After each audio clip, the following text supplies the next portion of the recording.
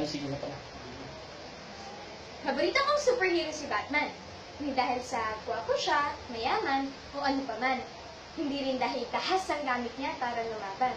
Pero dahil tumutulong siya nang walang alinlangan. Siyam na taon ako nang tanongin ako ni Mama. Alin pa sa lugar ang gusto ko, pagkain o manika. Sabi ko, saan siya pupunta? Doon daw sa malayo, uuwi siya hapon na. Anong gagawin mo doon? Sabi ko, ang sagot ni Mama, mamimili ng superhero. Superhero? Para saan? Ang sagot ni Mama, para sa bayan. Hindi ko yan lubos na naunawaan. Ang nasa isip ko, paborito ko si Batman. At siya ang gusto kong piliin ni Mama kung ano man iyong pupuntahan at tinutulong niya. Paborito kong superhero si Batman kasi tumutulong siya sa nangangailangan. Wala siyang kapangyarihan at hindi rin sobrang lakas. Pero meron siyang kotse at sumusunod siya sa batas. Hinawanan ako ni Mama pagkatapos noon. Wala daw si Batman sa pagpipilian doon. Kumunat ang loob ko sabay ng pagtataka. Sa mga superhero, imposibleng si Batman ay wala. Nangako sa akin si Mama. Iyong tapat, marangal, at malinis daw ang pipiliin niya. Hindi man si Batman, pero katulad nito, na may malasakit at totoo ang serbisyo. Paborito kong superhero si Batman dahil hindi niya kailangan ng pera para masabing mayaman. Ang mga taong malulugod sa kanyang tulong at pagsagip, siyang tunay niyang yaman at karangalang higit. Bilang isang bata, hindi ko yun naunawaan. Pero bilang isang kabataan, lubos ko na iyong naiintindihan. Ang paghangad ng susunod pang pagsulong ay nagsisimula sa pagpili ng mga taong tutulong.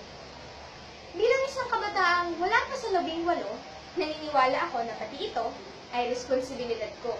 Wala man akong kakayahang bumoto, kaya kong magbigay ng suhestyon at opinyon sa mga magulang ko. Sila ang kakatawan sa amin, sa panig naming mga musmos sa usaping bayan natin.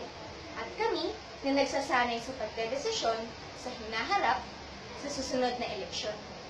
Isa pa lang iyon sa kayahan namin. Kaming mga kabataang pag-asa nyo at natin. Hubugin nyo kami sa katotohanan.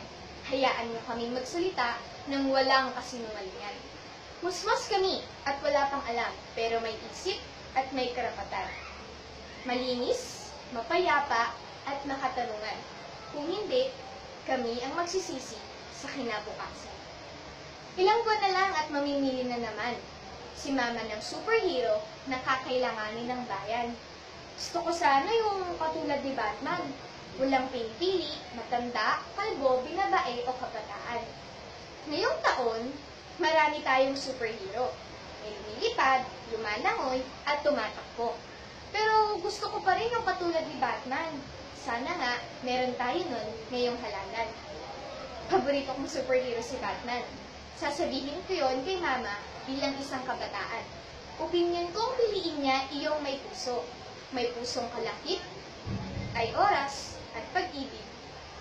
ay